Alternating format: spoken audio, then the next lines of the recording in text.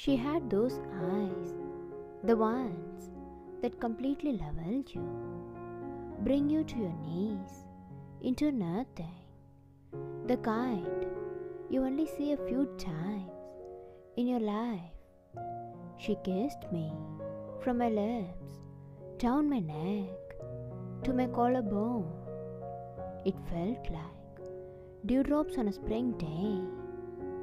A warm sensation ran through me when she whispered the things she wanted to do with me.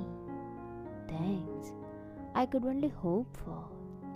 My fantasies become reality that day when she kissed me, devoured me. I never felt so wanted. My heart pounded as I gave myself over to her. Our tongues danced, not a waltz, but a tango in its most pure and sensual form. It felt like we set the air on fire while she pushed me to the wall for support.